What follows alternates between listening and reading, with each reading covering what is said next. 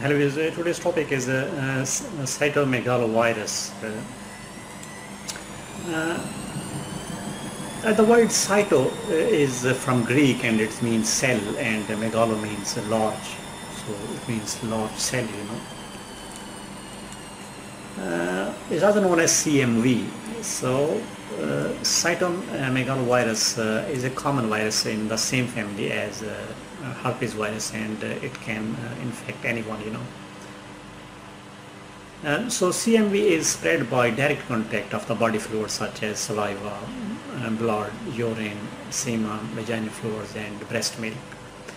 Uh, thus breastfeeding, uh, blood transfusions, uh, organ transplants and sexual contacts are possible modes of transmission, you know.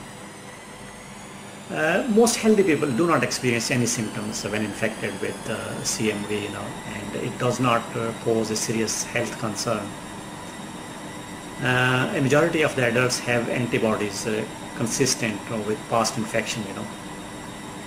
Now, the most healthy children and adults who do have the symptoms uh, will recover from the CMV infection without any kind of complications and do not require any antiviral treatment, you know.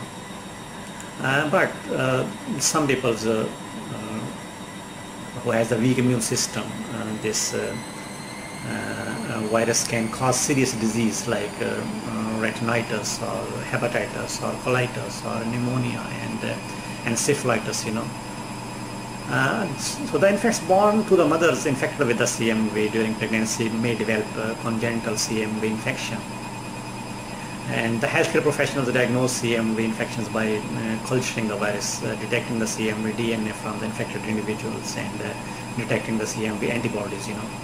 So the antiviral treatments uh, uh, may improve the, uh, prognosis in some patients with um, uh, cytomegalovirus infections, you know.